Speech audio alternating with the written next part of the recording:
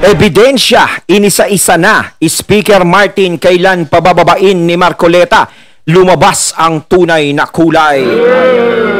Etong balitang ito ay nagmula kay Showbiz Chicadoro. At syempre ito ang inyong lingkod na si BT na magbibigay ng reaksyon at komento ukol dito sa videong ating mapapanood.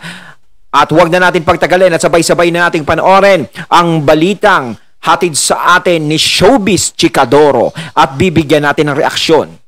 Pasok! Napapapi talaga ang ilang netizens dahil 20 years na palang patay at nakalibing na ang organization na pirma, na umaako na nagpapirma ng Politicians Initiative, ayon mismo sa SEC. Ano yan? Ang nakakainis pa raw ay pinipilit pang magpalusot ng grupo ni Mr. Onyate at Attorney Avisado na, kesyo ngayong buwan lamang nila naisip ang buhayin yung kalansay ng pirma. Ito ang grupo at personalities na nagmeeting sa mismong bahay at kasama ni Speaker Ferdinand Martin Romualdez. Dito palang lumitaw na may irregularidad at malinaw na, nang dahil dito kakaunti na lang sa Pilipino ang naniniwalang walang kinalaman ang Congress sa issue. Dumagdag pa ang pag-amin ng isang resource person na si Attorney Anthony Abad na, nakikipagkita siya kay Speaker Martin para pag-usapan ang PI. Ito ang binabanggit na pangalan sa unang pagdinig na parang makakasagot sa lahat ng katanungan, at sinasabi din ni Representative Marcoleta na tila maglilinis sa pangalan ng Congress at ni Speaker Martin Romualdez. Mm. Ang pagkabisto kay Mr. Onyate at pag-amin ni Attorney Abad ay very clear na para sa ilang senador na sangkot ang Tamba and Company sa pagsusulong ng kontrobersyal na PI. Una nito, sinabi ni Representative Marcoleta na mangunguna siyang manawagan sa pagbaba ng Speaker of the House kung may alam ito. Ilang araw na ang lumipas tila tahimik pa rin ang mambabatas na nagbitaw ng pangako sa harap ng publiko. Ayun. Narinig nga natin 'yon, no. Na sabi nga ni ano, ni Kong Marcoleta na kapag napatunayan na si speaker nga ganon is involved sa ganyan, siya na mismo ang unang-unang magsasalita na bumaba si speaker. Pero ngayon nga, sabi nga dito sa balita ni Showbiz Chicadoro na medyo tahimik ngayon si speaker. Malay natin is bumubuelta lang si Kong Marcoleta. Kilala naman natin yan, di ba? Pero kung Marcoleta, talagang ang dami nang naghihintay doon sa sinabi mo. Siyempre, kapag may isang salita dapat, kapag binitawan is binitawan na yon. Pero bawi, isang basong ihe, ganun yan. Marami tuloy ang nagsasabing dito lalabas ang tunay na kulay ni Marcoleta kapag Ayan. binali niya ang kanyang sinabi at lalabas na isa rin pala siyang tagapagtanggol ni Speaker Martin. Kasi kung nagbitaw ka Isa pa na, pa, nasayang ang kanyang tapang na humarap sa Senado at magpahayag na siya ay patas lamang. mm, Sana may senador na maglakas loob na singilin nitong si Marcoleta sa kanyang mga binitiwang salita. Ngayon may paalala. Kaya no? naman, ang former presidential spokesperson na si Attorney Harry Roque ay muling ipinaalala at nilatag ang ilang mga ebidensyang nagsasabing sangkot ang HOR sa Peking People's Initiative. Panuuri ng full video para sa iba pang detalye ng paliwanag at pasabog hinggil sa mga umano'y nilabag na batas sa pagsusulong nitong Chacha. Magsisimula ang video pagkatapos ng maiksing intro.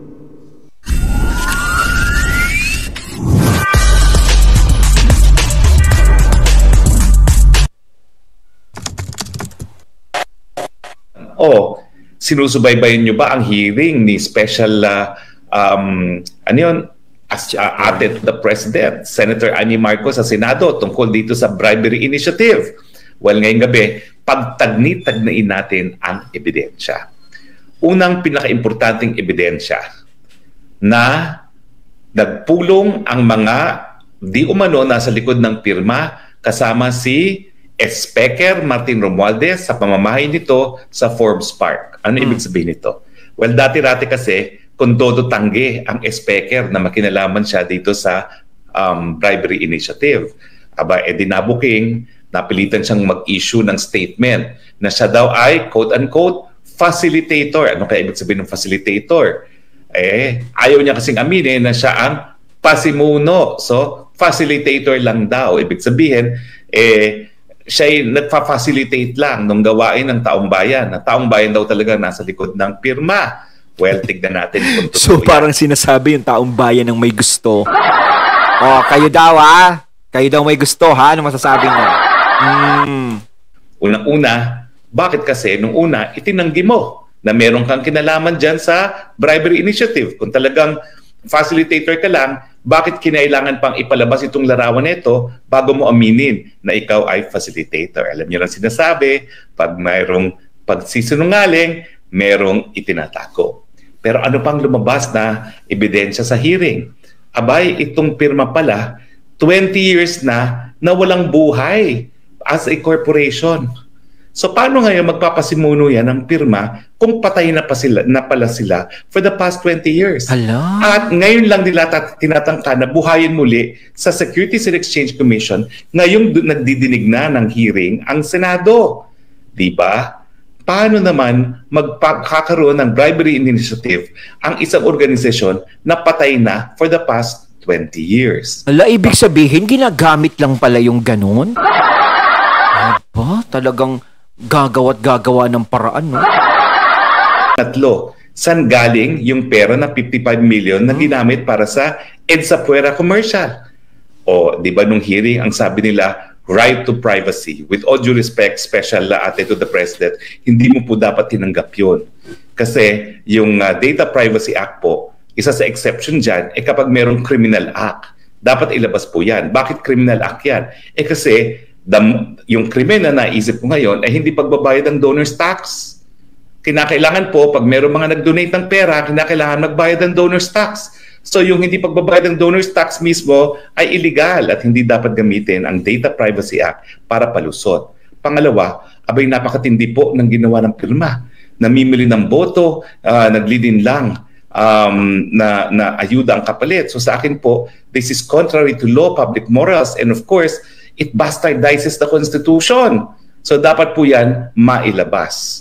Ayun ang mahirap eh, kung ayuda ang kapalit. Kasi alam naman natin talaga, sa hirap ng buhay ngayon, talagang matitrigger ka na pirmahan yon. Lalong-lalo na kung medyo maganda ang magiging bigayan.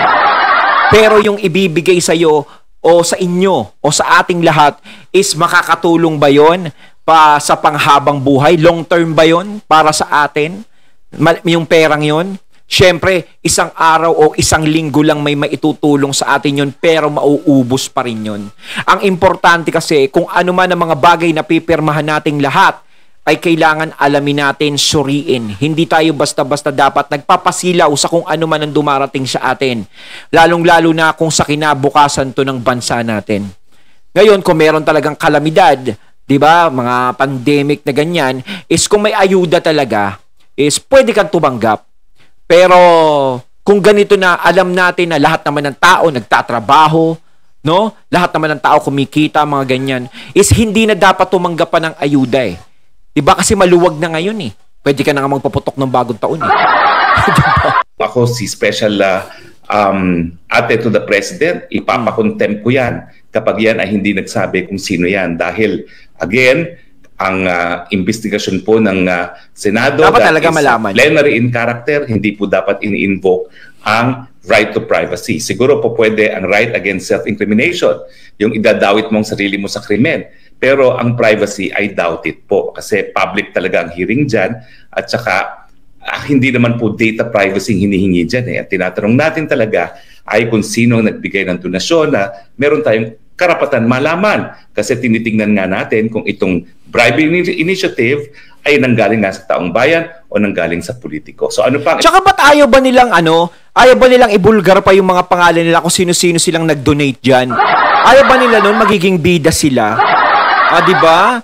At least kung maganda talaga yung intensyon nun, pati yung pagbibigay mo ng tulong o pondo dyan, karapatan mo magpakilala, 'di ba? Hinihingi na nila ngayon. Kung siguro dati nung una ayaw mo magpakilala, sige. Pero ngayon hinihingi na nila yung pangalan mo. Kaya kailangan siguro lumabas ka kung maganda yung nagiging resulta. Kasi siguro kaya ayaw nilang lumabas dahil nagkakaroon ng issue at baka sila ay masabit pa. Ganun yun eh. Parang ayaw ko nang madawit dyan. Bahala kayo sa buhay niyo. Kung pwede nga lang i- i-withdraw ko na yung binigay ko. Parang ganun yun eh. Mm. Pero kung maganda yung naging feedback niyang isinusulong na yan, sigurado lahat ng mga nagpondo dyan, kapag sinabi ng Senado na pangalanan, ibigay yung mga pangalan, ibibigay nila yan kasi maganda yung magiging result, maganda yung naging resulta. Pero sa kabila niyan, hindi ganoon. hindi maganda yung naging feedback, kaya sila ngayon ay nagtatago. hindi sila magpapakilala, sabit eh. Ebidensyang nakalap. Well, syempre, nandyan na yung email na siniwalat ni Super Ate to the President na nanggaling sa tanggapan ni Mr. Specker mm. na nagbibigay direksyon sa lahat ng mga kongresista na kinakailangan eh kumuha na sila ng 3% na um, pirma sa kanilang mga distrito dahil kinakailangan nga po 12% nationally mm. tsaka 3% per district. Oh. oh. Tapos aba, ito pa, meron pang akat. Siyempre, ang dami ng testigo na nagsabi na nung pinapirma sila, yan daw ay para sa ayuda. Eh, Siyempre, sino ba naman ayaw sa ayuda kaya pumirma sila. Pero ang lumabas ngayon sa um, Senado, abay meron pa palang pondo, 27 billion akat. Wala ito doon sa National Expenditure Plan. Ito yung sinimutin ng Malacanang sa Kongreso. Wala ito doon sa final appropriations uh, uh, bill no as approved by both hmm. houses. Mm. Ito po ay isang insertion na pinasok ng mga taga-kamara doon sa Bicameral Conference Committee. Alam niyo po talaga, yan ang hirap dito sa ating budget process.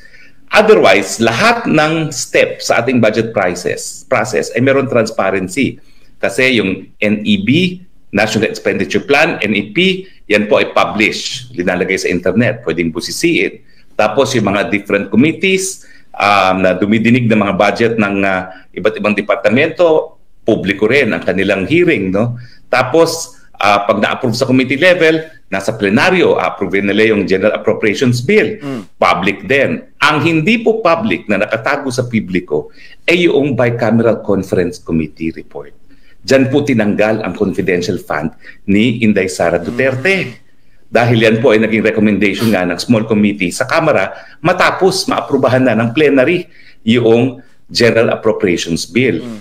At apparently, abay, hindi alam ng uh, senador na merong akat. Bakit naman sila papayag? Eh nakalagay doon sa insertion na yon na tanging si Mr. Specker lang ang po pwedeng magdesisyon kung kanino ipadadaan itong akat na ito. Di ba kakaiba yan? Kaya naman sa akin, kapanipaniwala na hindi alam talaga yun ng Senado, bakit?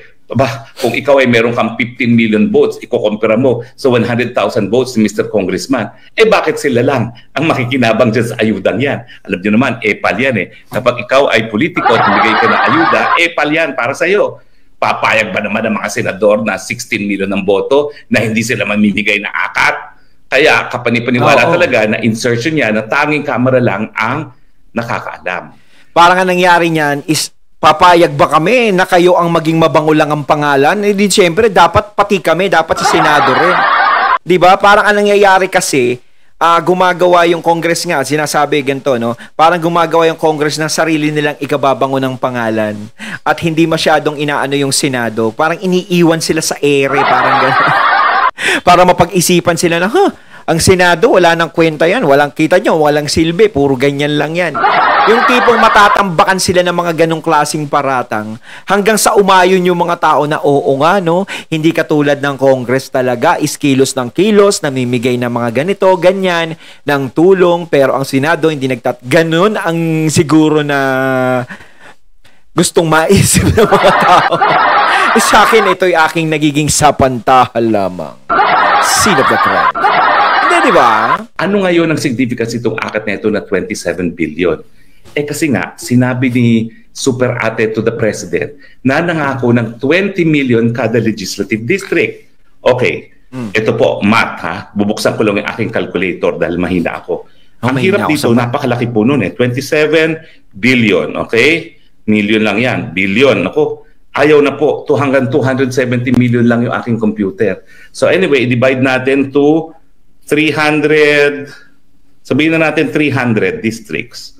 Lumalabas, um, tag tatlo pa, tag, um, well, lumalabas po, mali eh, oh, kulang ng zero eh, no? So lumalabas po na talaga mas malaki pa sa 20 million kada distrito ang po pwedeng makuha hmm? ng mga kongresista na magdi-deliver ng 3% votes. Apo. Tanong, na-establish na yan? Hindi pa po. Ang na-establish lang ni Super Ate to the President, nangako na 20 million kada distrito. Ang tanong, 20 million. saan naman niya kukunin yan? Alam ko malaki ang kanyang confidential fund. Parang 1 point, um, magkano ba yung confidential niya at saka extraordinary expense, parang 1.71 billion. Pero hindi sapat yan. Punta to 20 million na merong 300 congressmen. No? Mm. So, posible po, yun po, teorya pa lamang, posible na ang pagkukunan ng 20 million kada distrito ay itong akat na tanging si speaker lang ang po pwede magdesisyon kung kanino pupunta. Ayan ah. Nakakakilabot po. Alam mo po bakit? Napakatagal ko po naging empleyado sa Kamara. Nung ako po yung nag-aaral ng abogasya sa UP, nagtatrabaho na po ako sa Kongreso. Tapos po, naging chief of staff din ako para sa kongresista ng Pasay. Tapos naging kongresista ako mismo. Ngayon lang po ko nakarinig ng ganito na ayuda, hindi galing sa presidente ang proposal, galing mismo sa House. At tanging si speaker lang ang magdidesisyon kung paano gagastusin. Paano ma- Pa- parang si speaker na talaga yung presidente natin nangyayari. Kumbaga sa picture is si PBBM hindi na masyadong nararamdaman. No, lagi talagang laman ng mga balita, ganito si speakers, speakers, tambag, speaker, ganun. Pero si PBBM, yung mga proyekto na ganito, ganyan, ganyan, hindi masyadong nare, na, ano eh, na, na ititelib, hindi naririnig, hindi niya na ano, ibang tao talaga yung nagfo-front. The front man, parang ganyan. Parang hindi, pa, kaya yun tuloy yung naiisip ng mga tao na, huh, parang ang presidente naman natin, parang ganun. Di ba? Ako hanggat maaari, ayoko, ayoko mag-isip ng ganun sa ating presidente. Kasi presidente natin yan. Siyempre, baka mamaya meron siyang iba talagang ginagawa. Iniisip ko pa rin sa aking sarili is, baka busy lang. Pero, talagang ano, no, na, naiipalan, parang nasasapawan yung presidente sa nangyayari na dapat sa kanya nagke-credits at dapat siya ang may gumagawa is iba ang gumagawa. Hmm. Mga senador. Eh, ang mga senador nga, 16 million ng boto. Si Speaker, Oo. siguro 80 mil lang siguro ang boto ang kanyang mandato galing sa Tacloban. O sabihin na natin 150,000. Ano ba naman yung 150,000 na boto kung kumpara mo sa 16 million? Sino ba ang mas may karapatan magbigay ng ayuda? Senado. Yung binoto ng 16 million o yung binoto lang ng 150,000? Di ba? Sentido ko mo naman. Hmm. Bakit papayag ang Senado kung nalalaman nila yon? Pero siyempre, pag pinagtagni-tagne, yan ang pong malinaw. Yung 55 million na di umano ginapit sa commercial, hindi po yan ang galing sa donors. Bakit? Dahil kung meron po yan galing sa donors, dapat siniwalat ang pangalan, dapat tinignan kung nagbayad ng buwis. May pinanggalingan po yan, hindi sa mga donors. Anong mga possibility? Galing po yan sa Kongreso mismo. Tingin nyo ba gagastos ng personal na pera sa speaker? I doubt it. Pero gagastos siya ng pera ng kaban ng bayan? Posible. Yan yung sinasabi natin, posible kasi eh. kailangan Kaya nga dapat hindi nilalagay yung pangalan. ang ebidensya. At siguro nga po, itong akat neto na 27 billion na tumataginting, ito po ang magpopondo para sa bribery initiative. Ayon, natating natunghayan ang video na nagbula kay Showbiz Chikadoro at syempre natunghayan din natin si Attorney Harry Roque. Kayo mga katunay, anong masasabi niyo tungkol dito sa video ating napanood at binigyan ng reaksyon? Ayan ha, talaga si Mr. Speaker talaga.